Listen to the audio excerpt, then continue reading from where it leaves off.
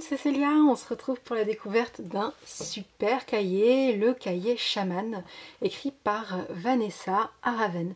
Alors Vanessa, vous la connaissez peut-être si vous me suivez depuis euh, plusieurs années parce que euh, bah, c'est une copine à moi. C'est une copinette, euh, c'est même plus qu'une copinette, c'est une super amie à moi.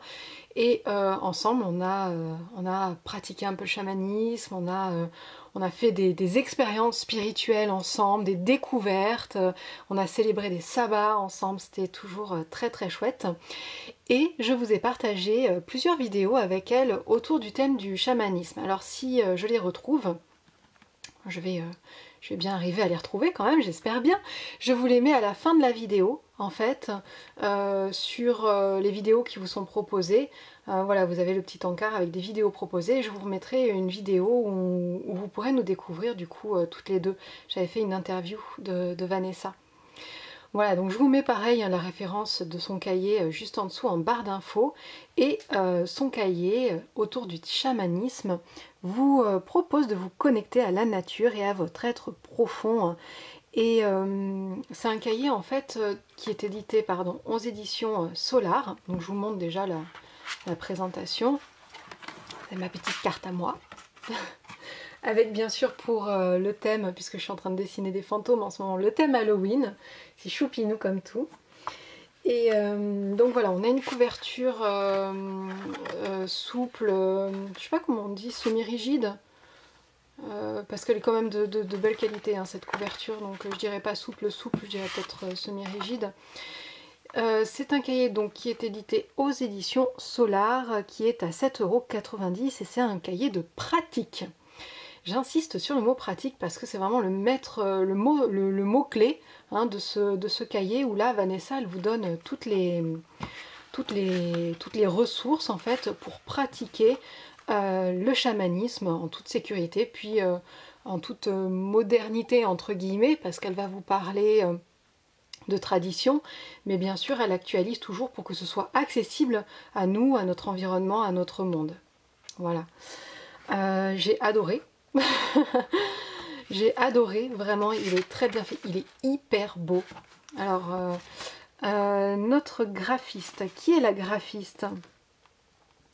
Illustration Isabelle euh, Moroger pour euh, la couverture de profil. Pour la couverture, pardon, pour la illustration de, couverture. Et à l'intérieur, ce sont euh, Audrey, c'est Audrey Bussy qui a fait toutes les illustrations à l'intérieur. Et en fait, ce, cahier, bah, il est hyper bien fait, quoi. Il est hyper bien fait, il est, est beau, il donne envie. Euh, j'ai adoré, il y a des petits encarts à droite à gauche, il y a des, traits d'humour, euh, mais ça, ça m'étonnait pas. ça m'étonne pas venant de, Vanessa. Donc euh, voilà, on a quelque chose de, de très beau et de très complet. En fait, je suis impressionnée parce qu'on a un cahier qui fait à peu près une centaine de pages, si je ne me trompe pas. Voilà, 94 pages, donc on a une centaine de pages et euh, c'est hyper condensé. C'est une petite mine d'or pour quand on s'intéresse au, chamanisme. Vous avez vraiment euh, énormément de choses. Et en plus, j'ai cru comprendre qu'elle avait euh, écrit beaucoup plus et qu'elle a, qu'elle a condensé, qu'elle a comprimé un petit peu tout ce qu'elle avait écrit.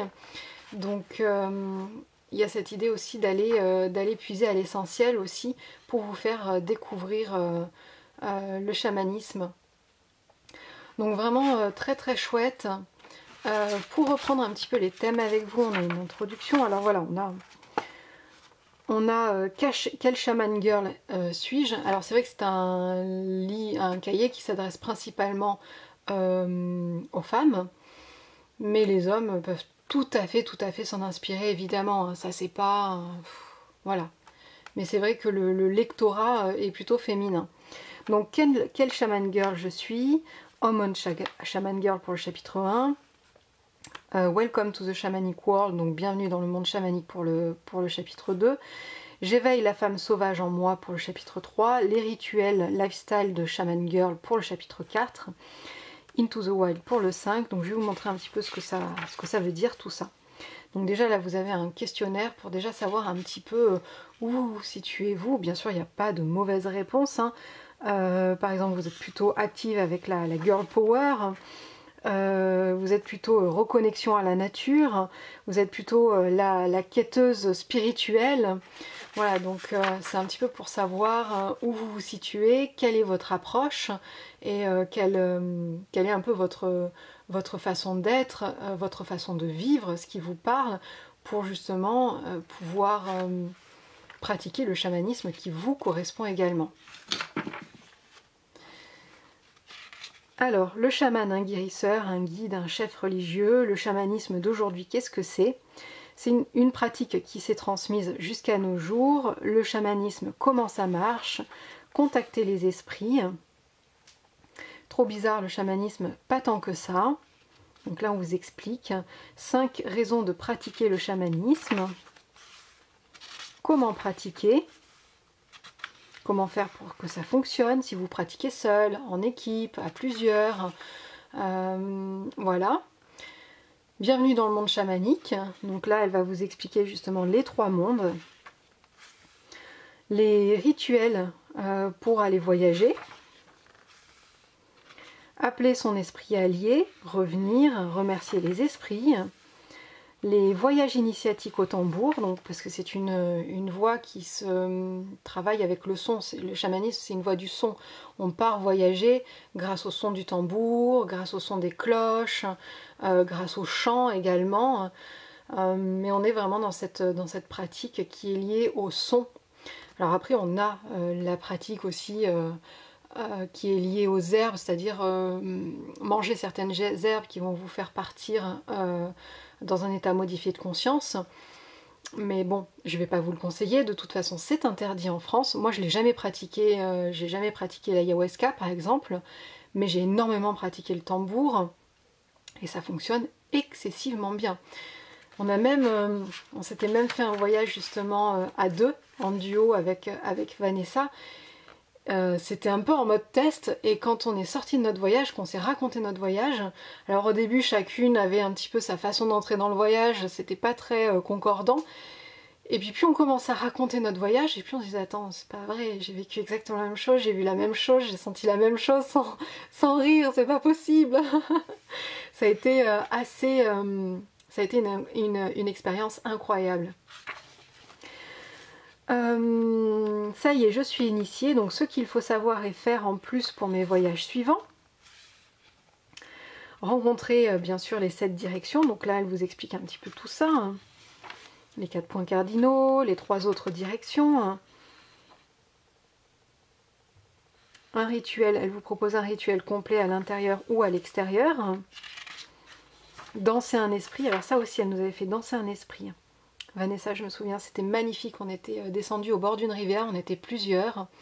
Il y avait un grand arbre majestueux où justement on, s'est accompagné de l'esprit de l'arbre et, euh, on, a, euh, on a dansé, dansé un esprit, c'était sublime, superbe. On a fait après un voyage chamanique où on s'est posé en écoutant l'eau de la rivière, incroyable. Donc je crée mon hôtel aux esprits pour remercier. Je tiens un journal chamanique pour suivre mes avancées. Éveiller la femme chamane, le chamanisme et les femmes, une grande histoire. Je me reconnecte à mon féminin sauvage. Il faut savoir que Vanessa est aussi euh, issue de d'une euh, elle, a, beaucoup travaillé sur le féminin euh, sacré avec l'école des mystères de la déesse dont j'ai fait partie aussi c'est à travers d'ailleurs cette école qu'on s'est connus ensemble euh, et, donc forcément la place du féminin aussi a une grande importance dans, son histoire, dans son parcours et euh, dans son enseignement. Je reprends mon pouvoir. Donc on a euh, l'histoire, la légende de Sedna, la légende de Kiridwen aussi de l'autre côté avec la, potion de connaissance. Donc on parle toujours de souveraineté, on affirme sa volonté, on vit pleinement son existence. On se crée une super playlist de la mort qui tue pour la joie et la puissance. Et ça, c'est génial. Euh, on rencontre la déesse Freya, justement. On trouve son équilibre entre ses aspirations, ses relations aux autres et les plaisirs de la vie. Le chapitre 4, donc mes rituels lifestyle, lifestyle, Ah, je vais pas y arriver. Mes rituels de, de vie, de shaman girl. Euh, même si tu habites dans un appartement, c'est tout à fait possible. Donc euh, voilà, donc ce sont des, petits rituels qu'elle vous propose de faire. Honorer votre chez vous, être en bon terme dans son espace, créer un refuge, euh, purifier bien sûr son espace également, les esprits qui vont vous guider au quotidien, comment travailler avec eux, euh, le travail des esprits justement euh, au quotidien, euh, recevoir des messages et travailler avec ces messages. Et le cinquième chapitre, Le monde dans les cultures chamaniques, une philosophie d'harmonie et de respect de la nature. Voilà donc Père Ciel, Terre Mère, nos parents qui ont fondé un monde. On vous propose une méditation. elle vous parle de mythologie, de revenir dans la nature aujourd'hui.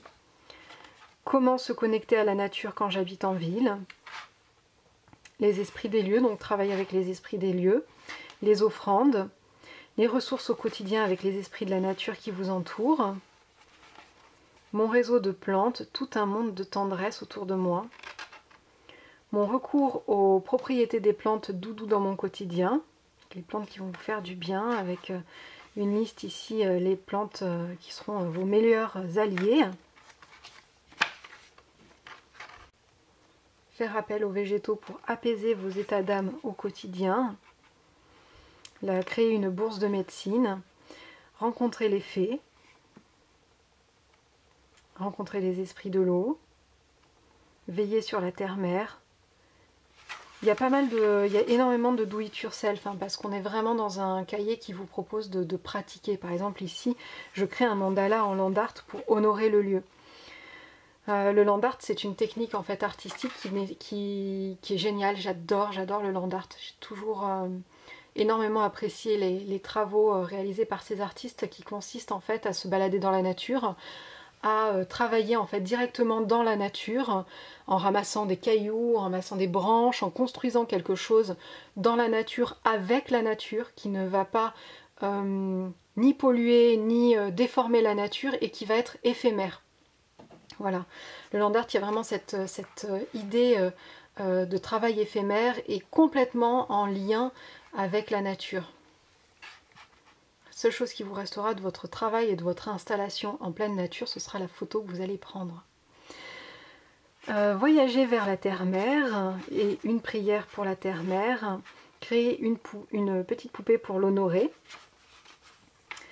Des carnets d'adresses et euh, une bibliographie pour aller encore plus loin. Voilà. Donc c'est vraiment euh, une super ressource, un très beau travail qui a été fait, il est agréable à lire, il est, euh, il est compréhensible, il donne envie vraiment de, se plonger en fait dans cet univers. Et, et, en plus, ce qui est intéressant, c'est qu'elle a puisé dans plusieurs cultures. par exemple, il y a un travail avec l'Oponopono. Euh, sur la purification aussi grâce à l'oponopono. Donc on reste pas figé en fait dans une seule culture, on va aussi euh, s'inspirer d'autres cultures et les intégrer dans notre quotidien, voir comment on peut les intégrer dans une pratique chamanique. Parce qu'il n'existe pas, en fait ça n'existe pas une pratique chamanique. Parce que le chamanisme, c'est, euh, on le retrouve partout dans le monde. On le retrouve autant chez les Celtes qu'on le retrouve en Amérique c'est vraiment quelque chose d'universel en fait. À une époque, le chamanisme était absolument partout.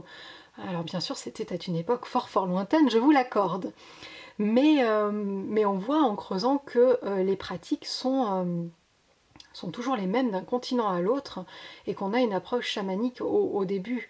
Donc c'est vraiment très intéressant en fait comme ça de, pouvoir ne pas se limiter à un cadre, ne pas se limiter à des, du euh, je vis en France et je n'utilise que les techniques françaises, entre guillemets, euh, parce que ça veut rien dire en fait. ça veut rien dire. C'est la spiritualité, elle a, elle a cette, cette ouverture et elle va puiser aussi dans, dans toutes les cultures, puisqu'au final, quand on retrace le fil, qu'on revient en arrière, on se rend compte que, on était, que toutes les cultures pratiquaient en fait une forme de chamanisme, même si chacun avait sa forme. Euh, on retrouve quand même énormément de, points communs et c'est ça qui est, euh, qui est, extraordinaire. On peut se poser pas mal de questions hein, d'ailleurs là-dessus. de voir que d'un continent à l'autre, alors que les, personnes ne communiquaient pas les unes avec les autres, eh bien, on retrouve des pratiques similaires. Voilà. je m'emballe, je m'emballe toujours quand on parle de chamanisme. Pour ma part, c'est euh, mon petit cahier qui va m'accompagner tout au long des, vacances pour me donner, euh, bah, renouveler un petit peu ma pratique aussi, donc ça c'est chouette. Et puis euh, moi je vous le conseille vraiment si vous vous intéressez au chamanisme, même si c'est votre première approche, justement ça vous donnera, je pense, l'élan d'en découvrir un petit peu plus sur cette, sur cette belle pratique et puis de commencer à, pratiquer aussi euh, de façon euh, posée, sécure, amusante et, euh, et de vous reconnecter à cette part de vous-même. Voilà, je vous souhaite une très très belle journée. On se retrouve très bientôt pour d'autres vidéos. Prenez bien soin de vous. Bye bye